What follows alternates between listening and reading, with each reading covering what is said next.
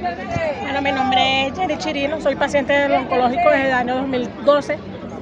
Actualmente presento una recaída, mi cáncer es de mama, y actualmente presento una recaída de una metástasis. Eh, me he estado colocando quimioterapia. Actualmente terminé, pero terminé sin un medicamento porque sencillamente no hay, no hay en el hospital. No hay las quimioterapias para los pacientes ahora. De verdad que sencillamente el hospital parece de tantas, de tantas carencias aquí que no hay soluciones 09 para colocar las quimioterapias, no hay antialérgicos. ¿Tú recaíste por la falta de tratamiento? No. Yo hace ocho años había pasado el cáncer y este, estaba tomando un medicamento que bueno, realmente no se conseguía y dejé de tomarlo. Y me volvió la nueva enfermedad. Esta vez me hizo una metástasis eh, eh, con progresión en el pulmón, a nivel del hígado y a nivel óseo, en la columna. ¿Cada cuánto tienes que venir al hospital a recibir tu tratamiento? Cada 21 días venía a recibir quimioterapia. Actualmente estoy esperando para colocarme radiación a nivel óseo. Estoy esperando desde febrero. La lista de espera es bien grande. Primero aquí el aparato estaba dañado. Ahora está funcionando, pero realmente solo se dan ciertas radiaciones en algunas áreas del cuerpo.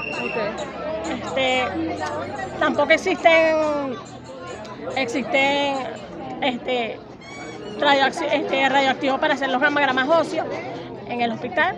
O sea, no hay este reactivo. En este país cuesta hacerse un gamagrama óseo un dineral. ¿Tú trabajas?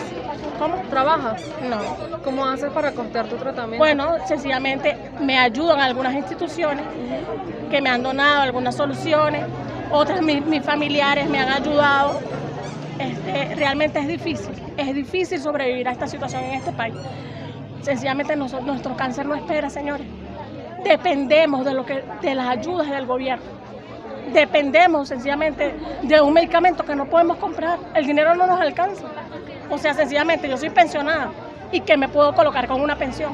Ni siquiera me alcanza para hacerme el examen que me debo hacer cada 21 días. Entonces, menos para pagar una tomografía, que tengo que pagar una tomografía y comprar un contraste que ahora lo venden en dólares. ¿De dónde saco? O sea, yo me pregunto, ¿de dónde saco? Aquí no ganamos en dólares. Si no ganamos en dólares, imagínate cuánto ganamos en soberano. O sea, nada. ¿Cuál es el llamado que le haces a las autoridades? Bueno, realmente yo le hago un llamado a las autoridades que se aboquen, que es una cuestión de humanidad. Esto no es cuestión de política, señor. Aquí estamos luchando por nuestras vidas. Aquí todos los días hay una emergencia en el hospital por esta enfermedad. Hoy soy yo, mañana puede ser cualquiera.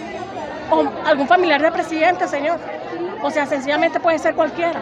Esta enfermedad no distingue raza, ni, ni, ni personas, ni nada. Y aquí lo vemos, aquí hay niños. Ellos pidieron tener esta enfermedad. No, sencillamente les tocó y ya.